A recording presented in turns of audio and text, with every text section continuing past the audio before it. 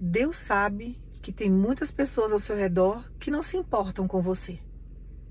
Deus tem te dado inúmeros livramentos, porque se você chegar num ápice de uma necessidade muito grande, as primeiras pessoas que vão virar as costas para você serão essas daí. Mas Deus se importa com você. Então ele manda falar para você: não se entristeça com quem não se importa com você, porque eu me importo. E diante de todas as tuas necessidades, eu estou à frente. Diante de tudo aquilo que você necessita, eu, sendo Deus na sua vida, estou regendo seus passos.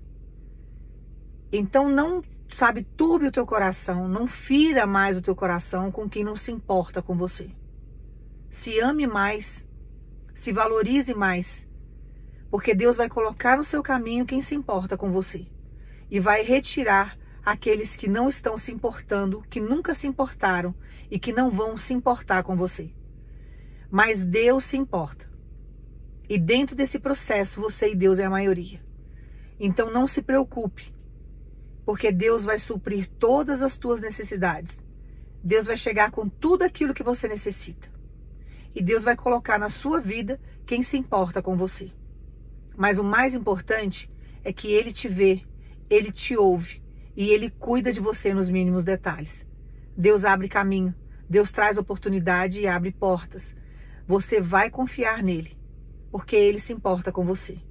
E isso já te basta. Que Deus te abençoe no nome de Jesus.